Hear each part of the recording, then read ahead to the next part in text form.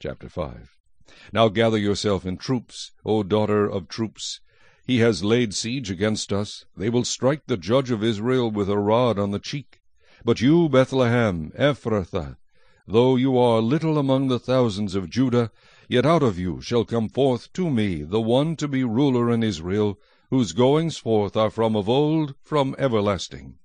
Therefore he shall give them up, until the time that she who is in labor has given birth. Then the remnant of his brethren shall return to the children of Israel.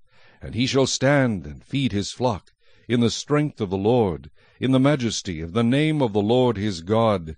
And they shall abide, for now he shall be great to the ends of the earth. And this one shall be peace.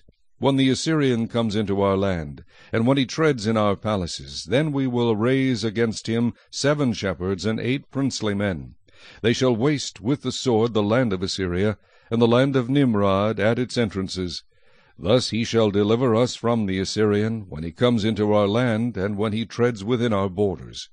Then the remnant of Jacob shall be in the midst of many peoples, like dew from the Lord, like showers on the grass that tarry for no man, nor wait for the sons of men.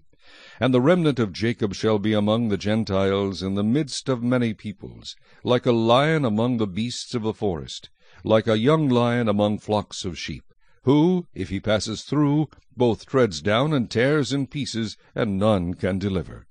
Your hand shall be lifted against your adversaries, and all your enemies shall be cut off. And it shall be in that day, says the Lord, that I will cut off your horses from your midst, and destroy your chariots.